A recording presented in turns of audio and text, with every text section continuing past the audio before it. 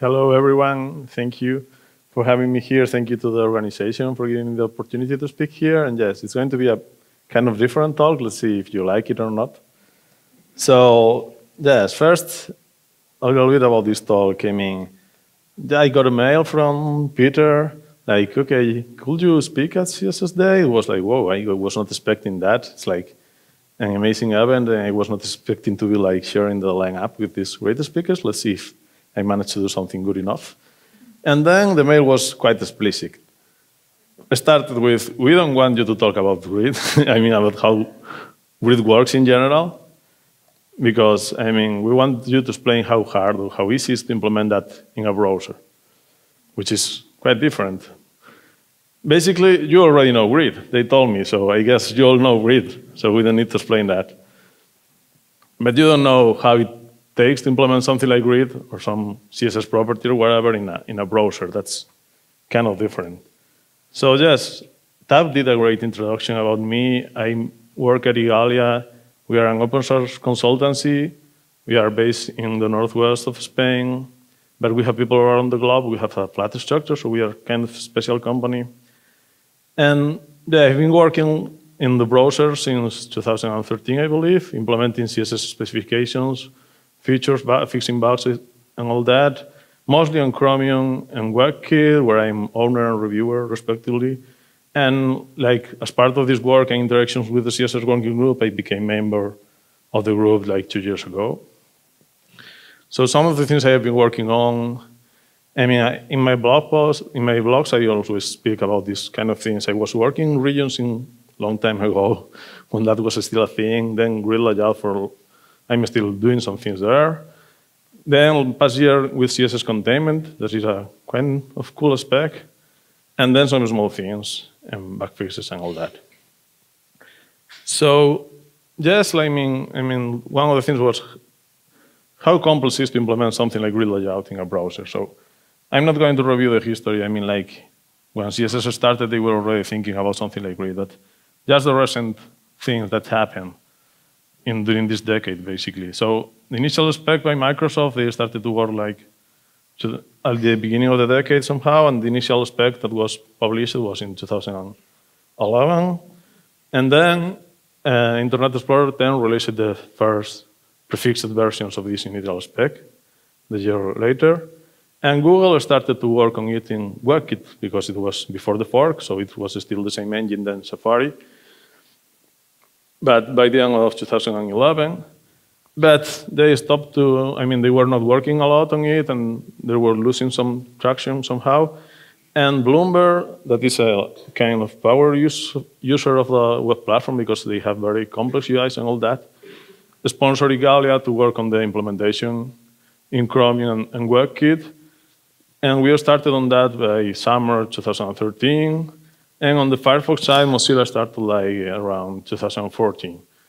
So at the end, 2017, so it takes a while, like you see, and after lots of changes on the spec, lots of changes in the implementations, interop issues, and all that, I like uh, a quite unique event in the history of the web somehow. All browsers, Chromium, Firefox, and Safari, like within a few months, they shipped all together CSS with Layout. We were all in conversation with the CSS working group, with Mozilla, and all that to make that happen. And Giving Edge joined it a few months later, so it was like everything at the same time, so it was really great. But it's take a while. So when I was thinking about what I can do in this talk, because it's like a completely new talk for this event, I, I never did it before, I was thinking like, okay, I can go to the CSS spec, it's very huge, it has lots of complexities and sections there where you can explain a lot of things and go into the details of the track sizing algorithm that is very complex, things like that. But I thought that would, that was could be like too theoretical and maybe really boring. So I prefer I I thought in a different idea like what happens if we implement a new property during this talk for grid layout. That's maybe more boring than the other part because I'm going to show some C++ code, but let's see how, how it goes. So first, the idea came from a presentation that Jen Simmons gave in TPAC 2016 to the CSS working group where she was uh, explaining some ideas about like a new regions spec based on grid layout because grid creates this uh, cells, so you can flow the content there and things like that. And in one of the slides, ha she has this idea of, okay, we can maybe have gaps, so the content, uh, I mean, doesn't use that gap, so we can create some nice layouts. So during this talk, we are going to uh, write a new property that will allow us to do that in Grid somehow.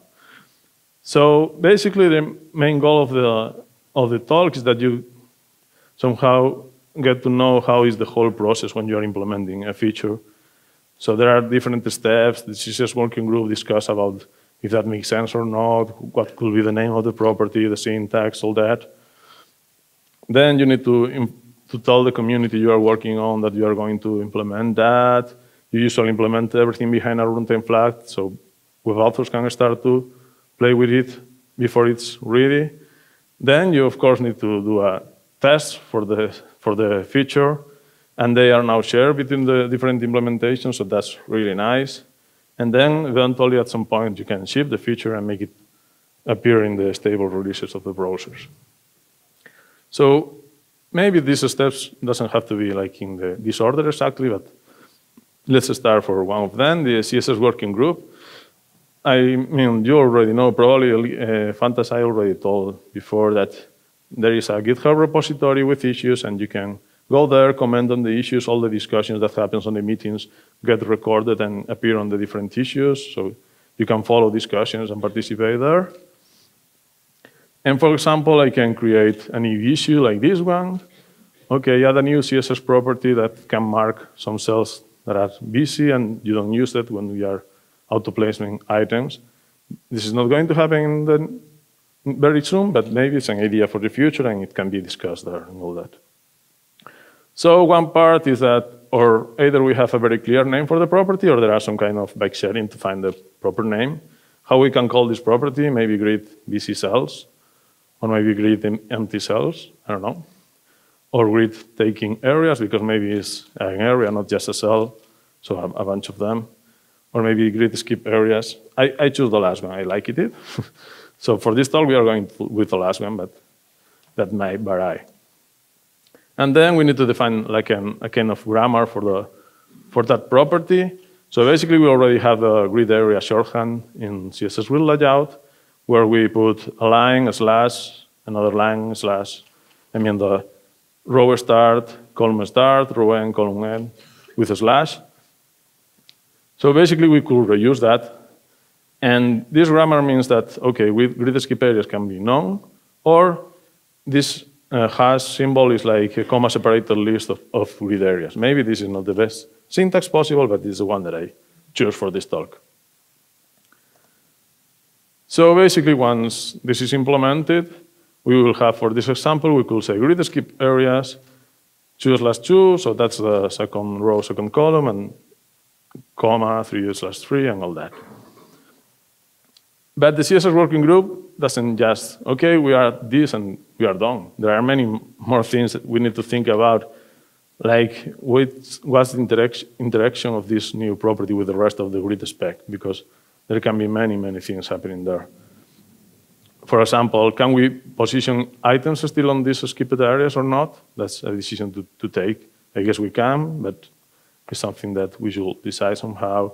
How this interact with autofit that removes the empty tracks.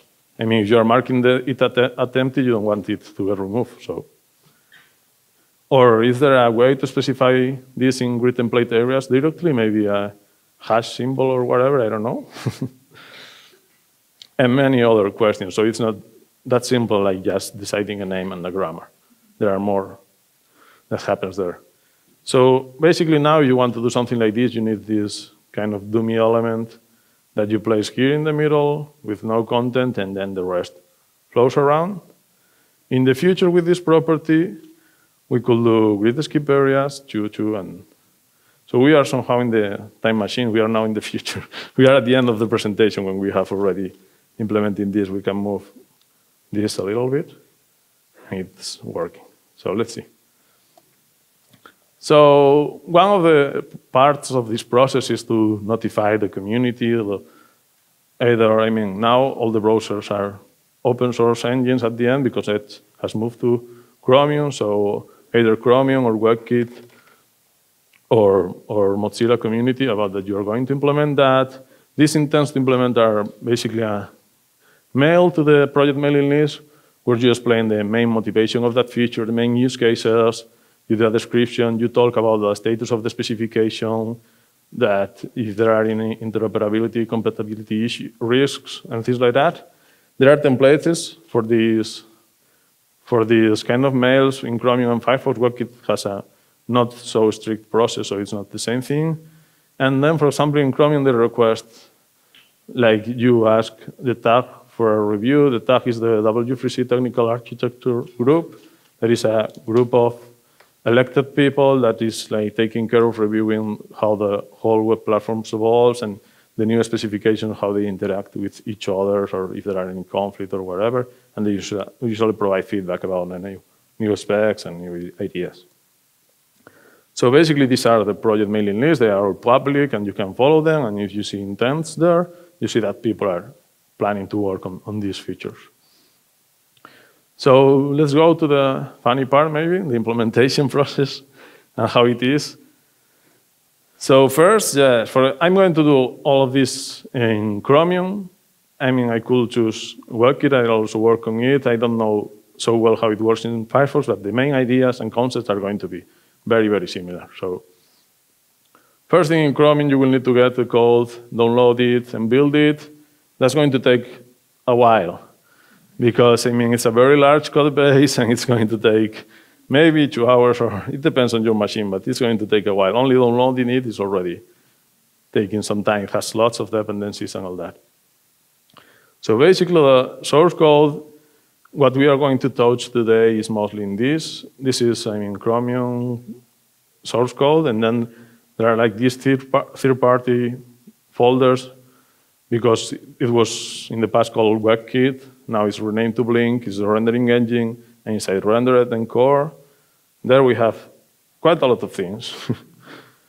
but yeah, but maybe some of here like CSS. Okay, that's interesting for us. Layout. There are also style around here. So yeah, I mean the code base is is really huge.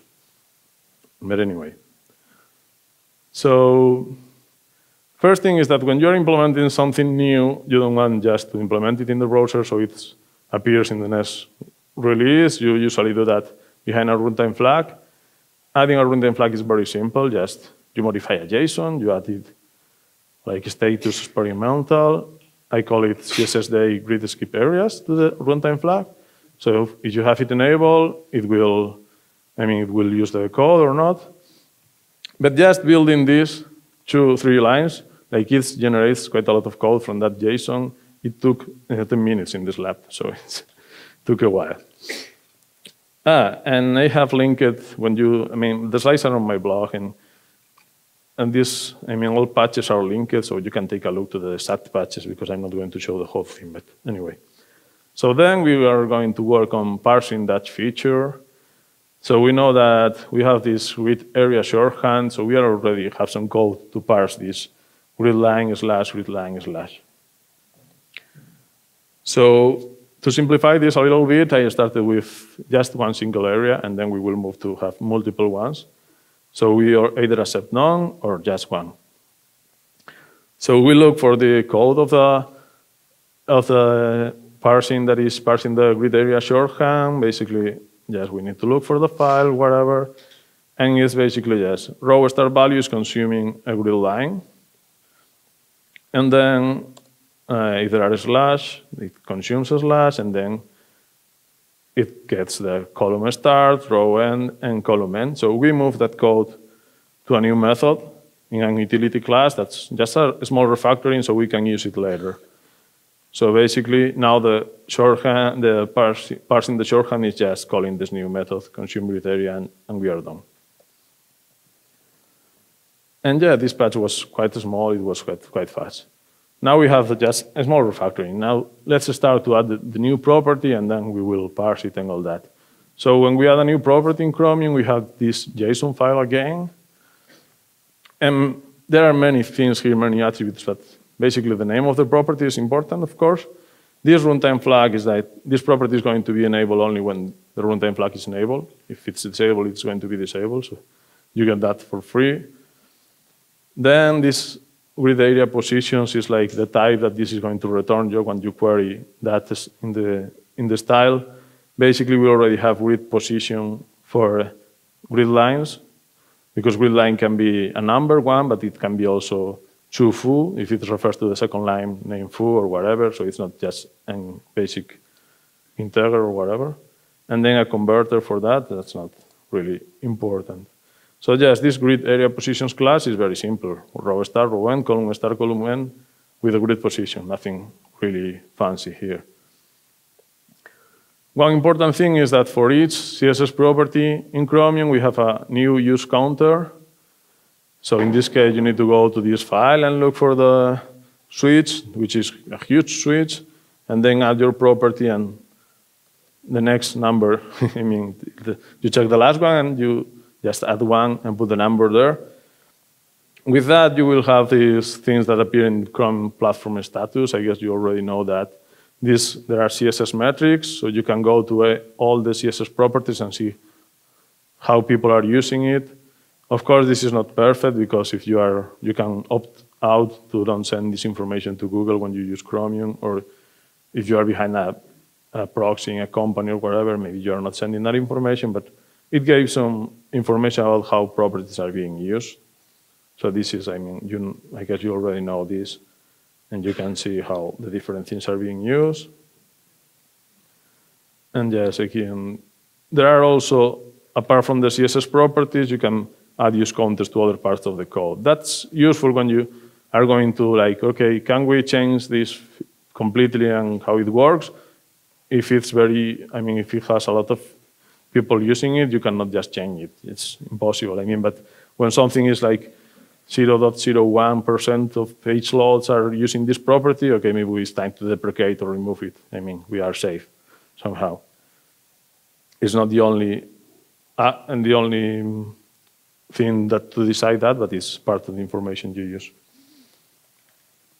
And then the parsing. In this case, we are go to the longhands because this grid skip area is a longhand, and Okay, if it's none, we just use none, and otherwise we consume grid area, the methods that we refactored before. So the parsing is again not very complex. And then, the, okay, this is maybe more complex, but you get this CSS value from the parser and you want to become into this grid area positions class, but it's very easy again. We get the items of the list and put them like row star, column star, and all that not, not that complex. We build, build this thing, and then at this stage, we can parse that. I mean, the browser will accept this property. If you put it and you go to the DevTools, you will see that it's not like a strike, it's fine. And you can just put one area or using, I mean, like span two or, or names of, I mean, like foo or whatever, name of, name of lines even. And and yeah, I mean, but it, it's parsing it, but it's not doing anything with the property yet. I mean, we didn't do the rest of the code yet. So if you want, I mean, to, to do the rest of things, there is, okay, we get here the, we are converting here things to the grid span class. This is actually an internal class. Basically, we have these lines that are span two, so we want that to refer to an actual line.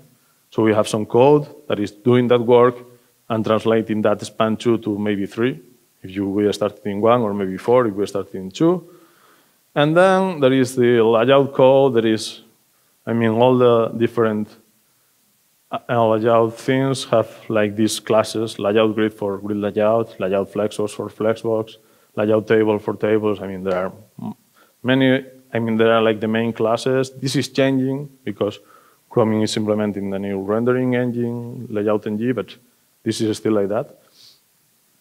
And then, yeah, in this, we can access to the style, like we are doing it here actually. Style grid skip area, we get the property and we get the column star or whatever.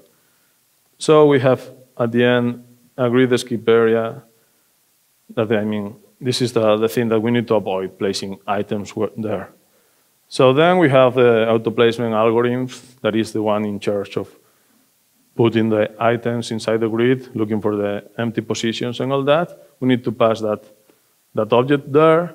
And there is a kind of a special thing in, thing in our implementation in Chromium because we used to have a matrix, which is a vector of vectors, so the implementation was quite simple, but it was taking a lot of memory, and now we use double linked list. So imagine that we have this grid that only has four items, but it has nine cells. With the old memory structure, we are creating one cell per each. I mean, these are the rows, and each row has a vector of the three columns. And we are creating one cell, even if we are, we are not using five. And now we are using this double linked list, so we avoid that. It's more complex, but we save a lot of memory. We have a 100 by 100 grid. It's like before we were creating 10,000 cells, and now we are going to create only four if we have only four items. So it's, it makes a difference. So in this case, we could mark, okay, if we have grid skip area 2, 2, we can mark this like, okay, this we should skip this, and we just skip this during the process, but in this case, we don't have that cell to mark it like a skip, so we, we need to find a different alternative. In this case, there, a, uh, there are a next empty grid area method. So in, I implemented a overlaps grid skip area. So it checks if it's overlap, overlapping or not the grid skip area. And if it's overlapping, it moves to the next track, looking for the, for the gap. I mean, the patches are more complex than this, but I think that's more than enough. So we build it, and yes, grid skip area is already working, only accepts one area, but it's already working. This is a screenshot I took while I was doing this. So we have the grid skip area, two, two slash two, and it's skipping it actually. So then we want more than one area, not just one. So first we go to the property definition, and instead of returning just one grid area positions, we are going to return a list. In this case, it's a vector, the class that we use in, in Chromium for that. But basically, the parsing is still quite simple. I mean, we are going to consume the grid area, and while we, we are finding commas, we try to consume another grid area, and that's mostly all. We are already getting this, I mean, a list of grid areas out of this. And then, of course, we need to change the converter so it loops the list of areas and, and it converts them, so nothing really strange. And then in the algorithm, the changes are very small. The, the method that was checking if it overlaps with one grid area, it's, it's looping all of them and checking for each of them. It's, this is not very performance, but I mean, it was just an example. And once we implement that, we can already put more than one, and this is already working. Again, here was a screenshot when I was doing this, but if you build that patch, you will get this working like this we are specifying here four uh, grid areas to be skipped. And then we need to rename it. I mean, this is basically very simple. I did it with a set, and there are just one place more where I need to touch something. And then we have here the, the thing that is actually grid skip areas, and we have these four areas, and we can change these as we want. So for example, we can maybe say, okay, I want from all the corners, that will be something like that. So we are skipping all the corners, or maybe I just, I just want one, and I put something like this, a square in the middle or something. I don't know, I mean, you can do whatever you want, but basically this is working, this is Chromium with these patches, and it's skipping these areas, basically. So with this, you can do things like this. I mean, it's you can maybe the, those are just empty empty divs with some background color, but maybe you can use pictures or whatever. It's not a very simple rule, but you can do things like this or things like this. I, I mean, you can do whatever you want. And maybe you are putting pictures around that and it's look very, very nice. I don't know. You, you already can do that or now specifying the positions, but that will be like somehow simpler. But I didn't talk anything about testing, and that's really important. I mean, you cannot land something in a browser without tests and without passing all of them and without checking that you don't break the rest of the, of the world with your change. So basically, in Chromium, they are called layout tests. They are now renamed to web tests, but everyone still calls them layout tests, I believe. In WebKit, it is the same. So if you run this command, it's going to uh, this command is going to run all, the whole test suite, and it's 86,000 tests. So it's going to take a long time. So you usually don't run, run that locally. You just, I mean, upload the patch, and there are bots that will run it and, and, and report the results. You usually, when you are working on some small feature, you run the test for your feature. In this case, for grid we have two folders, one for the WPT test, I will talk about later, the other one for internal tests. And in this case, we have almost 1,000 tests. And it says, okay, all run as expected. Not all passed because we have eight and are not passing right now. That can those can be small bugs or that, or they can be like features that we don't support yet in Chromium or things like that. And then there is this web platform test repository. I don't know if you know about it, but it's like quite important because I mean, since a few years ago, all the browsers are using it and sharing the test there, so that's really nice. So this is again a GitHub repository. Everyone can send a PR or a new test or whatever. It's shared by all the browser vendors, and it helps a lot improving interoperability between the different implementations. Or when you are working on a feature, you upload the test there, and then if they fail in another browser, you can report the bugs easily. It also helps when you are writing specs. If you write the test for that spec, maybe you realize about some corner cases you were not thinking about, or you can find bugs in the spec and all that. In Chromium, there is this folder inside Blink, web test, external WPT, that are where all this, I mean, this is synchronized with the GitHub repository, so it's very simple. When, if your patch is adding a test there, it's going to go to the WPT repository in GitHub, and in, if there are something new in GitHub, you're going to get it imported automatically, so it's very nice. And about these tests, I mean, they are basically just an HTML file with some JavaScript or some CSS or whatever. For this implementation I was doing, at least we need some parsing tests to check that we are parsing things properly. There are some common utilities here, so it's kind of simple. These are the main things that we are testing. None is none, or one is one auto, auto, auto, and we can have span two, for example, and it works, things like that. And also we are testing here that we, have, we can have more than one. Of course, we will need more tests than this, but just like an example of we will need more combinations of things and variations. But And when you run this test in the browser, you are actually getting this kind of pages. When you are, okay, you have six tests and you are passing the six. Of course, if we open this test in a browser without the patches, it's going to fail. then you can also write this, I mean, these JavaScript tests with use this testharness API that is, I mean, that has a lot of useful methods. In this case, I'm using even another utility, check layout test hardeners. So basically, we have agreed with four columns and three rows. And I'm putting grid skip area one slash one, so I'm skipping the first area and checking that the items, this item goes to the second column, this goes to the third, fourth, the offsetting y is zero, and then the, the this item goes to the second column, the second row already. So the first one is, is not used, and I'm adding here one with two basically is what we see here. First, the first one is not used, and here these two are not used.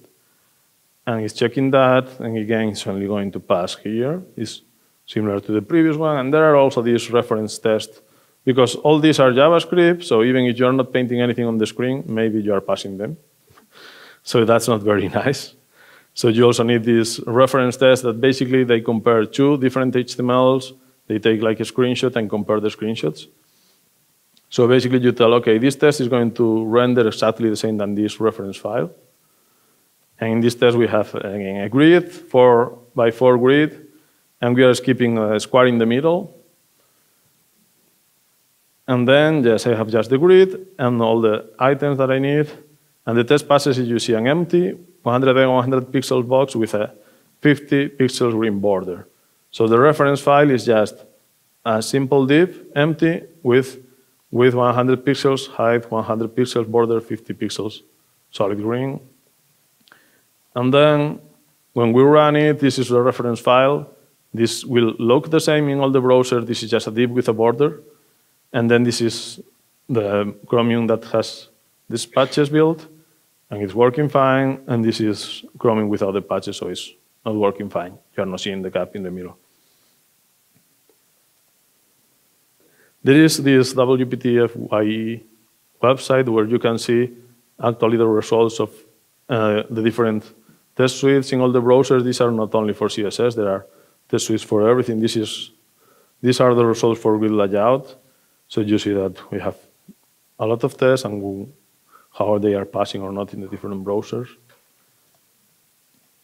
And then at some point, eventually, we need to ship the feature. I mean, we have been implementing it, fixing bugs, and everything is stable, and we want to ship it. So it's the process is very simple, the technical part. The other part is not that simple, but technically, you just need to change to stable, and you are basically done.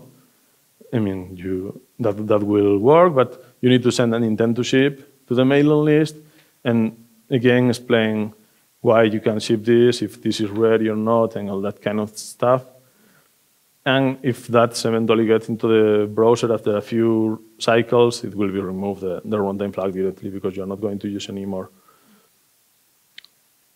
But I mean, all this needs to have a review process. I mean, you cannot land a patch in a browser without being reviewed.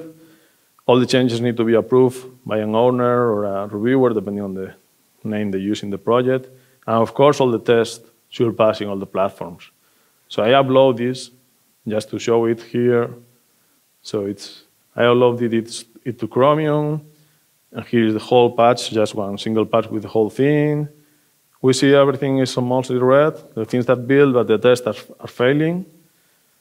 So we can go to the details of this, and it's very large page. But these are the five tests that we are failing. This is when you run the test locally in Chromium or Webkit, you get this kind of UI. Okay, you're filing these five tests, and if we check them, it's because these tests are listing all the CSS properties, so we are adding a new one, so we will need to modify the expectations of that test. So, I mean, to include the new, the new, the, the new properties, quite simple.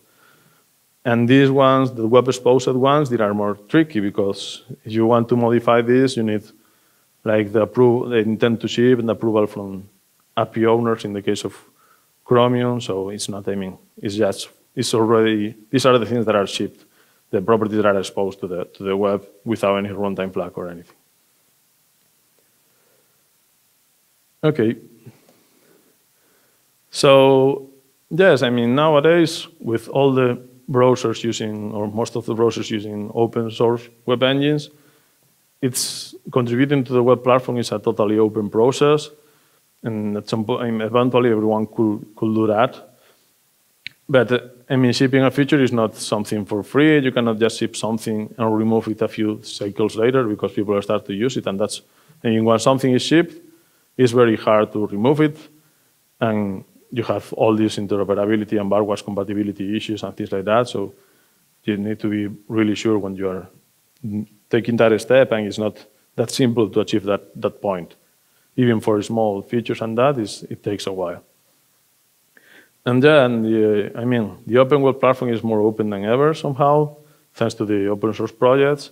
So externals, like individuals or companies, other than browser vendors, can contribute you can report bugs, you can start bugs, both bugs in the different Bugzillas, so browsers know that people are willing to implement that things. You can use the new feature while they are behind runtime flags and provide feedback about them, what you are missing, what things that you would like, or what bugs you find in them. You can write, tweet, speak about these things in places, explaining what use cases you are missing, participate in the CSS working group discussions, and GitHub issues, and you can even implement the feature yourself. You see that it's not that complex. I mean, or sponsoring someone like Igalia to do that kind of work. I mean, we are a company that can do that, but there are more, and some big companies have some internal teams working in browsers and things like that, so it's not impossible. Of course, like in any open source project, you cannot just appear or drop a big feature.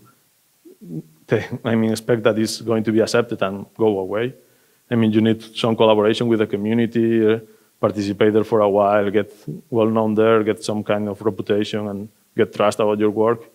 So that takes a while, but, but it's possible. And then, yeah, I have to say thanks to Bloomberg because without their support, I won't be working on grid layout and Igalia won't be working on all this. And probably grid layout won't be in the stage that is right now without, without their support. So it's really nice. And that's all from my side.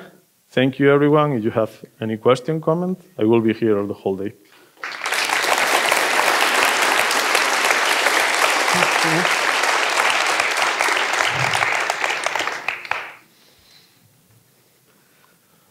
Okay. Oh, very interesting talk. it's always interesting to have such different views into what we're talking about here. So that's very cool, man. Thank you. okay. So we'll start with the controversial one. Um, Chromium, over the past several years, has been getting more and more market share of the web. And with Edge consolidating into being a Chromium based browser, that's not showing any signs of stopping.